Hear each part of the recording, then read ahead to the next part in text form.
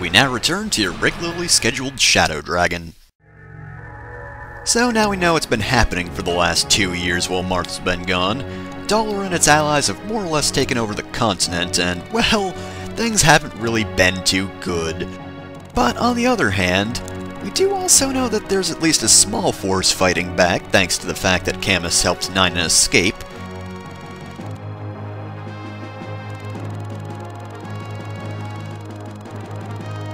No Grand Order of Knights until now, that is. Okay, we're like level 5 at best, but nonetheless, we're still pretty grand, I swear. Prince Marth, don't be a vengeful idiot. That won't get you anywhere.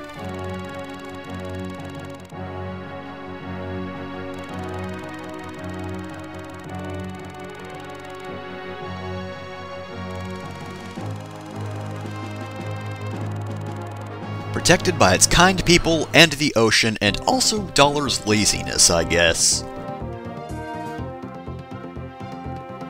Oh no! Pirates blinked into existence!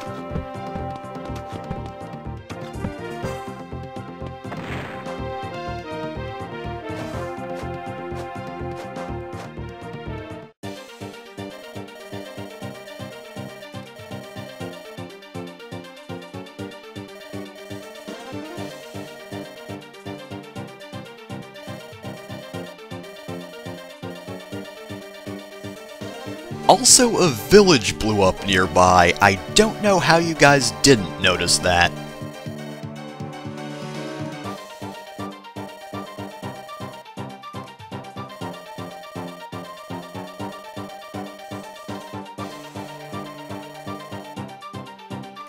And after two years, we ride yet again. But of course, before we get to this chapter proper, we should go over the new units we can get. So first off is the unit we technically got in the previous chapter. Draug here is a knight, and of course knights are generally units with high defense and low speed. I say generally because Draug's actually a pretty quick knight, but unfortunately his defense does take a little bit of a hit as a result. So if you do want a knight that's a bit out of the ordinary, Draug's your man. And to be completely fair, he still makes a pretty good wall early on, so he's not bad for that, especially since we're not going to get another knight for at least a little while. Next off we have Norne, who is an archer just like Gordin. I think she's better than he is overall. First off, she starts with a better bow rank, and she also has higher strength and much higher speed than he does.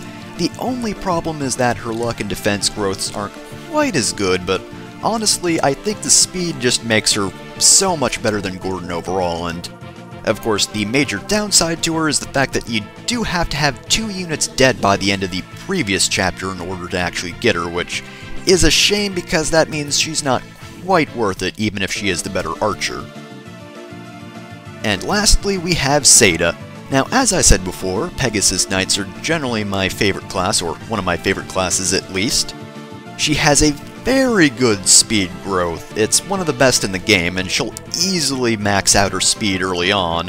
Her luck growth isn't bad either, and unfortunately her strength growth isn't really the best. Neither are her HP or defense growths. So she's not got the best survivability, so if you don't really have good luck, Caeda's not going to be too good. But for the most part, I think she generally turns out pretty well, especially with that wing spear of hers. It might be a rare weapon, but it does allow her to have quite a bit of an edge over most units because of its high strength. So, now that we're done with that, we can actually get into the chapter. Most of these guys are axe-wielding units, meaning they'll be pretty easy since most of our units use swords. The only ones who don't are Draug and Caeda, and since Draug has a high defense, he won't have much of a problem. But Caeda can pick off this thief right at the start, since he will try to go for that village over there, but we'll take care of them easily enough with this wing spear. Also, holy shit! Caeda's first turn of the game, and she immediately gets a critical. I'm gonna take that as a good sign, to be honest. Whoops.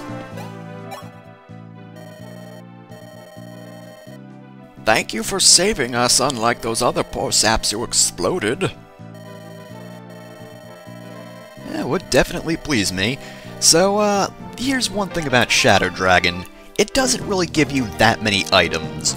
Generally, if you go to a village, they'll just give you a whole lot of money and just say, okay, spend this on whatever you want, which, for me, of course, is usually iron weapons, because while they may not be the most powerful, usually later on in the game, your units will be strong enough where their own strength is enough to take down enemies. It's more the durability I worry about, so usually I buy iron and steel weapons, and steel weapons are less common, I just use them in a pinch, and silver weapons I never really buy, because usually the ones I start with, like ones I'm given by the game, those usually last long enough for me to, you know, just finish the game without breaking them. And of course, as I said before, Pegasus Knights are weak to being shot by arrows. Which of course we already went to in depth in the Archanea Saga Chapter 2, but that's just a reminder there since we now have Caeda. We can't just have her fly all the way to the end of the area and have her stab the boss to death, because if she does try that, well, she's probably going to be shot by the archer.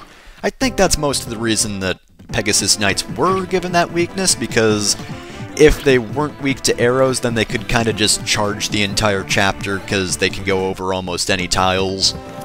Of course, in fairness at the moment, those pirates would probably kill her since there are a whole lot of them. Uh, baiting them out is pretty much the best strategy here. Uh, we don't have to go that slowly, but we are going slow enough where they don't charge us too much at a time, and they're pretty easy to take down.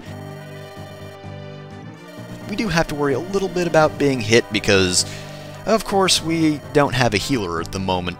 Caeda herself, though, probably wouldn't be able to charge and kill a whole lot of units on her own, at least not till later in the game. Later in the game, she probably could do that, other than just being hit by archers. Uh, I also want to mention that you probably should buy a bunch of iron weapons and then give her one of the iron spears, or iron lances rather, because you don't want to abuse that wing spear. Wing spears are very rare, but they do give you a lot of strength, and since they're one of Caeda's main weapons, you want to save them mainly for bosses and enemies you couldn't take out otherwise. For normal enemies, just stick to a normal lance, otherwise you're just going to be wasting a good weapon. So strategy-wise, there's nothing really too complex about this chapter. Uh, as I said before, it's pretty much just you lure enemies in and you take them out at your leisure. And the map itself is actually designed for that sort of thing. It's pretty linear, and there's not really much of a chance for the enemies to get the drop on you, uh, with the exception of those two pirates up there.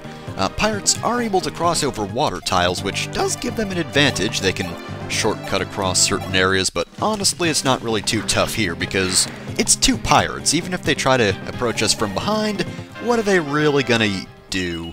I mean, especially against sword users, they have pretty much no chance against us.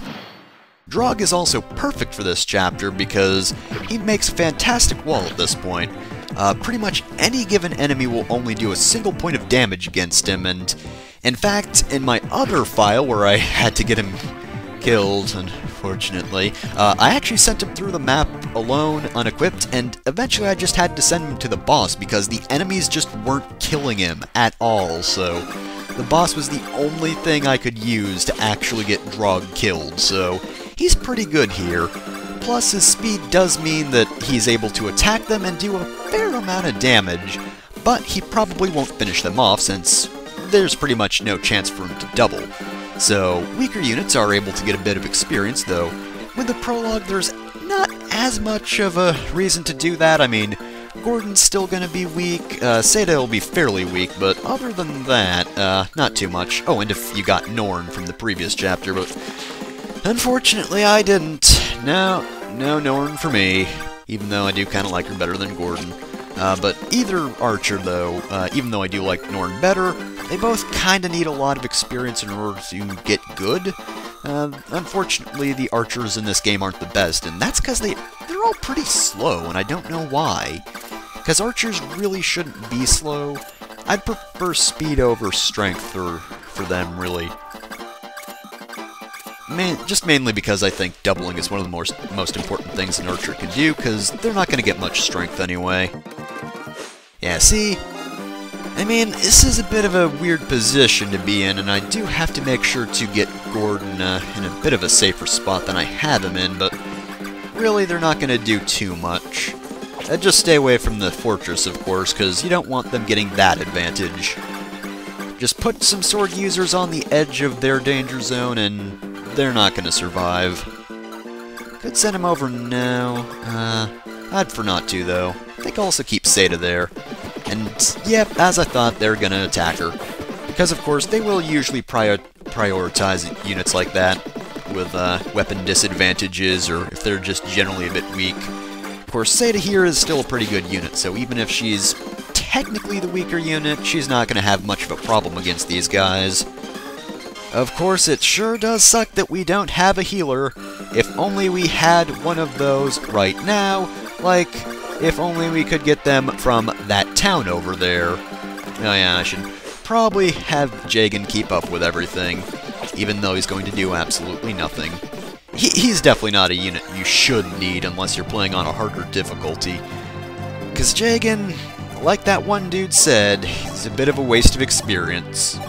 That wasn't the exact wording, but eh, close enough. From this point onward, you don't need him. And really, in general, you shouldn't need him for anything. Sometimes in a Fire Emblem game, it's useful to have this crutch early on, but honestly, in Shadow Dragon, I don't find him that useful. Speed shouldn't be an issue here either, I mean, you can mostly take this chapter at your leisure unless you let that thief from the beginning live, and why would you do that? If that thief is able to destroy any other village other than this one or the one from way before, that's really on your head. Because that guy's right at the start, you should be able to kill him no problem. And thankfully pirates can't destroy villages in this game, otherwise, well, we would have lost out on a character. And wouldn't that have been a shame?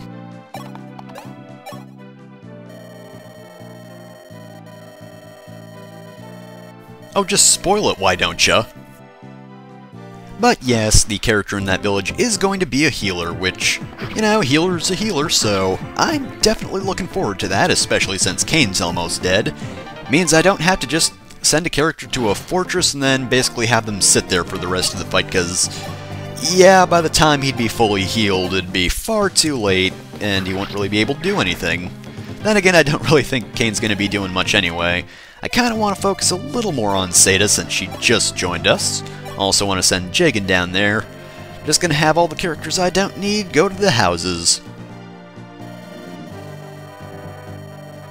Oh no, not Gomer. I'd hate to be under the rule of a man named Gomer. That's just gotta be embarrassing. Oh no! That Gomer, what a harsh and cruel tyrant! I cannot believe he is in control of our fair town. Oh, the cruelty. Anyway, let's just send Marth to this village. We could have done this sooner, but no, it's always gotta be Marth.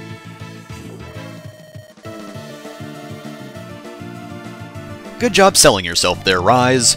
Well then, while we heal up Cain right now, why don't we look at Wrys himself? Well, in fairness, there's not really too much to say about Wrys. I mean, he's a healer, he heals, he cannot fight at all, therefore keep him in the back because enemies will target him and, well, yeah, he won't survive too many attacks. As a healer, he's not the best in the game, but at the moment he's all you got, so he's gonna be useful for a few chapters. Now, at this point, we're pretty much just gonna set up and get everyone in position for the boss.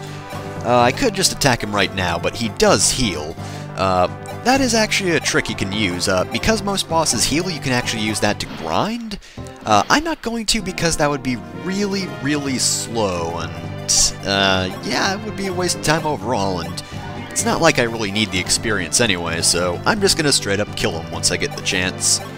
Which I think we're all in a good position to do so at this point.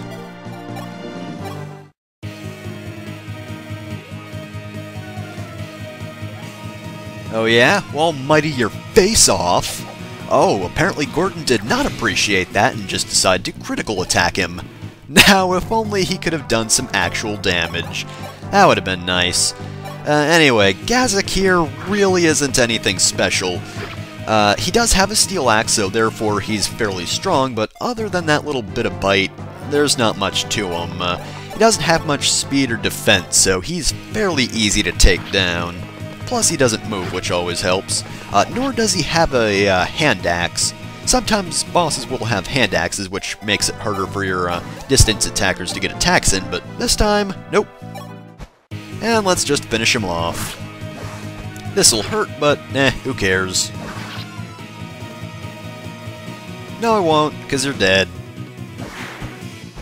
Man, it's not like you were it's not like you're really all that effective, so I really don't see how I'm going to be paying. And that was a pretty good level. Would have preferred strength, but I'm definitely not paying in terms of bad levels, so really, unless you're really good at haunting me, I'm not foreseeing any difficulty there. And, eh, why the hell not, we'll get one more turn of healing in. Just give Wrys a little bit of extra experience. I'm not really going to be keeping him for the entire game or anything, because there is a better healer coming up in a few chapters, but for the time being, I'll help him along. To be fair, it's more of a waste of a heal staff, so I'm kind of dumb, but eh, whatever. Uh, Talys King, Martha's over there. You're looking straight at me. It's kind of creepy, actually.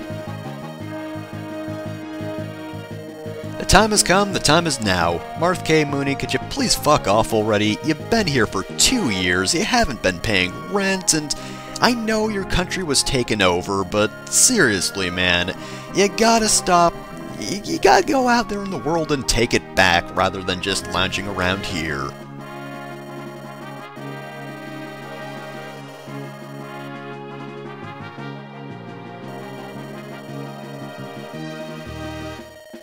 Also, sometimes a few other characters, but mostly you.